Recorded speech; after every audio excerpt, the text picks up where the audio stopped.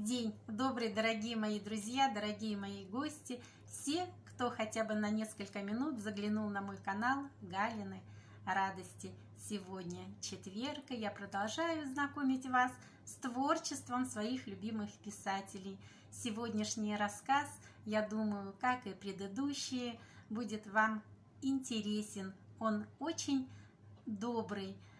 Есть, как всегда, к чему-то прислушаться – может быть, даже взять какие-то моменты себе на заметку.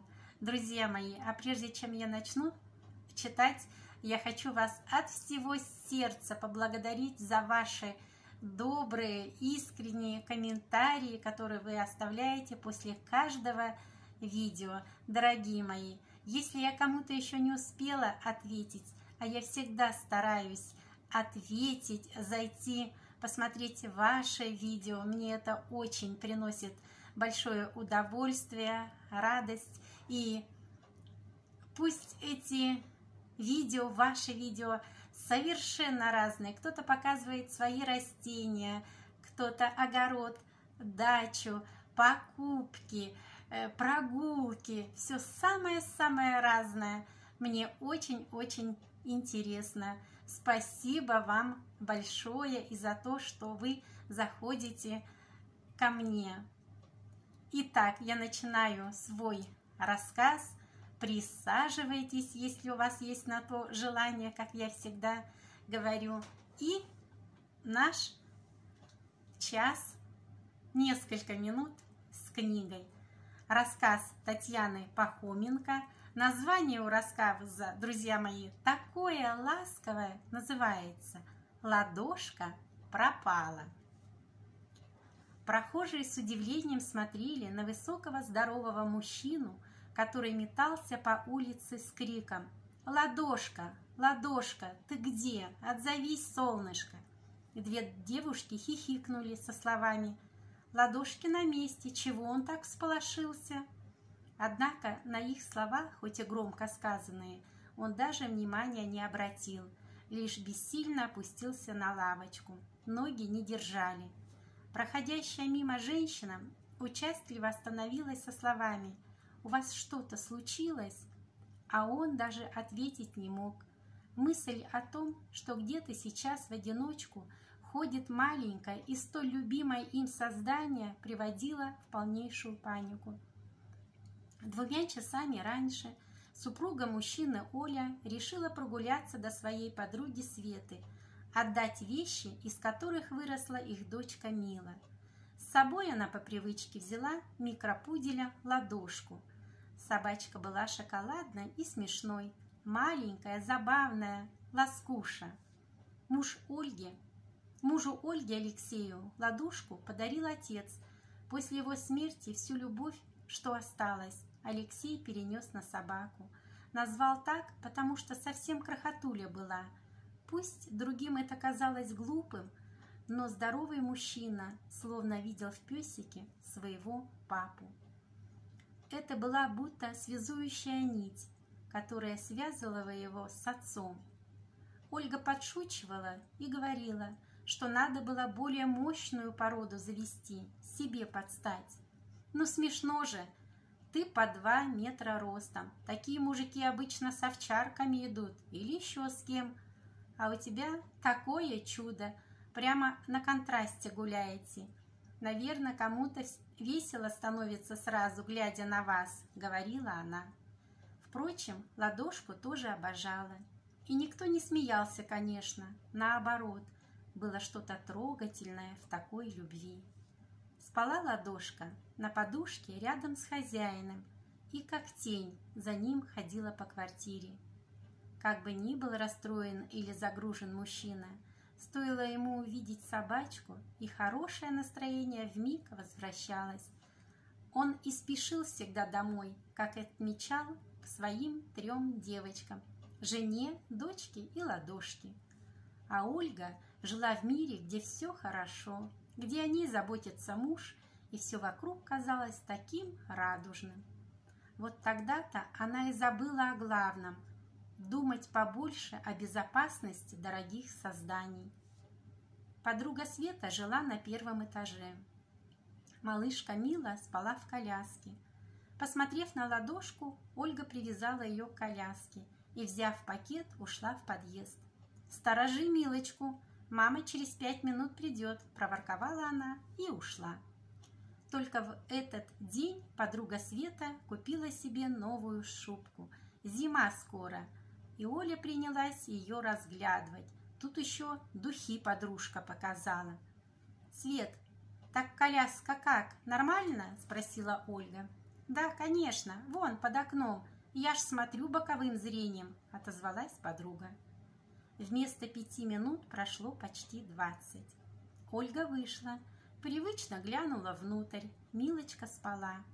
Опустила глаза вниз и почувствовала, как холодный, липкий страх ползет внутри. Ладошки не было. «Света! Света!» – закричала молодая женщина. Подруга выбежала в одном халате и в шлепках. «Ты что кричишь? Мила, как? Я же смотрела!» Схватила она Ольгу за плечи. А та все плакала и шептала про ладошку. «Слушай, а собаки-то не было уже, когда я выглядывала. А ты что, не сказала мне, что с собой ее взяла? Надо было тебе ее сюда занести. Ты ж ее всегда на руках носишь», — покачала головой Света. «Да я думала на пять минут. Что ж могло случиться-то? Я бы и вышла быстро, если бы не ты со своей шубой и духами», — зарыдала Ольга. «Нормально вообще», я ж еще и виновата. Сама бы своей головой думала, обиделась подруга. Коляску с Милой занесли внутрь. Ольга принялась бегать вдоль домов. Поиски результата не дали. И тогда она, вздохнув, набрала номер мужа. Тот примчался в рекордные сроки. Света, высунувшись из окна, наблюдала за бурным объяснением супругов. Я ладошку к коляске привязала и на пять минут ушла, а она исчезла, хлюпала носом Ольга. «А Мила? Где была Мила?» Провел по лицу, словно смахивая что-то Алексей. «Спала, тут же, в коляске, на свежем воздухе», — ответила жена. «На свежем воздухе? Да как ты могла двух беспомощных оставить на улице? Где была твоя голова?» Почти застонал мужчина. Ну, а что такого? Все оставляют коляски у магазинов, аптек, если надо куда-то забежать, принялась оправдываться Ольга. Все? Да мне дела нет до всех. Запомни, ты в последний раз это сделала. Еще раз оставишь дочь на улице, в коляске, я тебя... Да ты глаза-то разуй, Оля, Сколько плохих людей ходит. Ты же не знаешь, что у человека на уме. Маленькая собачка и младенец, одни, без взрослого рядом. Ты чего натворила, Оля? Стукнул рукой по машине Алексей. Видимо, до Ольги стало доходить, кто мог исчезнуть еще вместе с ладошкой.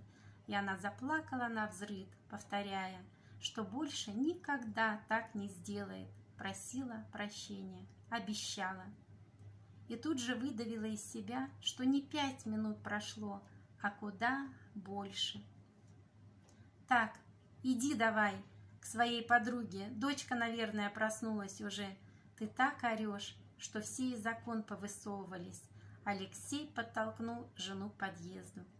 «А ты?» – беспомощно оглянулась она. «Я землю переверну, но найду ее.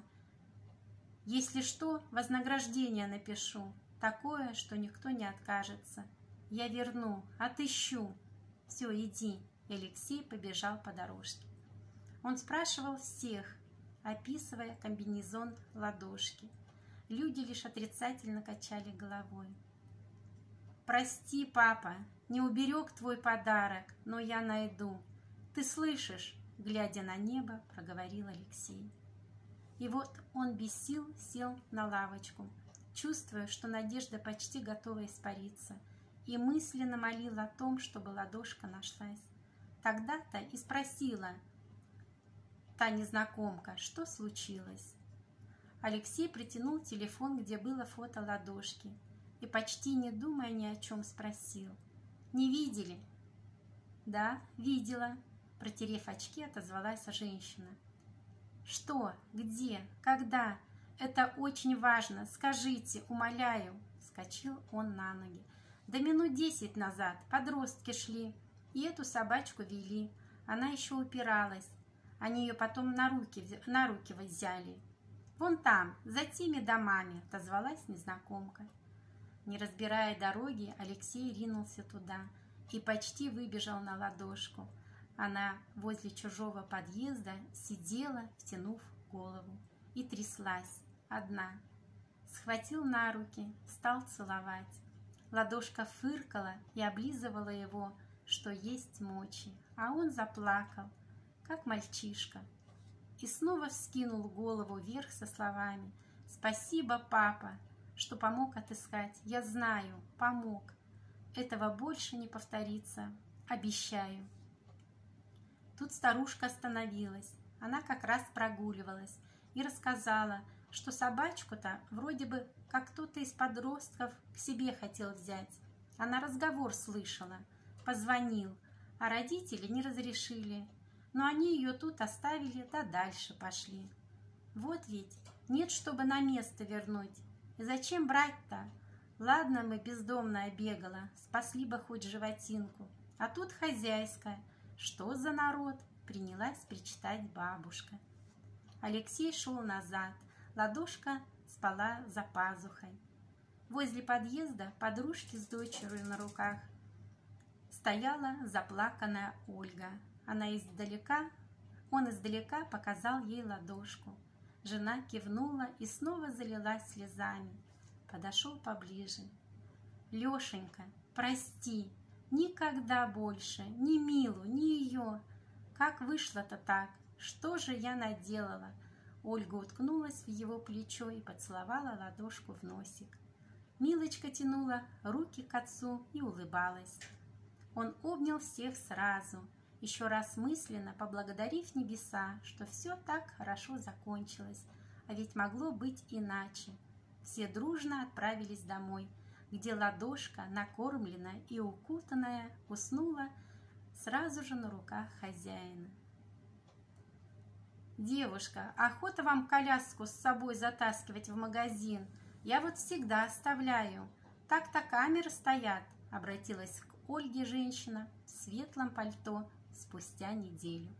Рядом с ней крутился белоснежный шпиц. Ольга, сдув упавшую на лицо прядь и посмотрев на ладошку, которая тоже примостилась в коляске, где была Милочка, вздохнула и пересказала свою историю.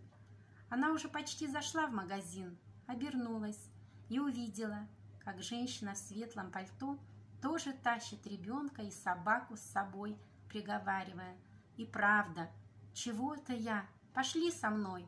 Витюшка, и ты со мной тоже, Феша. Сейчас я тебя тоже в коляску как-нибудь упихаю. Ишь ты, что делается. А ведь и не подумаешь. Нельзя расслабляться-то. Береженного, как говорится, Бог бережет. Вот такой рассказ, мои дорогие. Если вам рассказ понравился, оставляйте свои комментарии, рассказывайте. Мне, повторяю, все очень-очень приятно. До скорых встреч. Желаю всем вам хорошего дня. Берегите себя, берегите своих близких. Пусть для каждого из вас внутри светит свое солнышко. И вечером, когда семья собирается вместе, пусть будут только хорошие новости. Я вас обнимаю. С вами был канал Галины Радости и я, ваша Галина.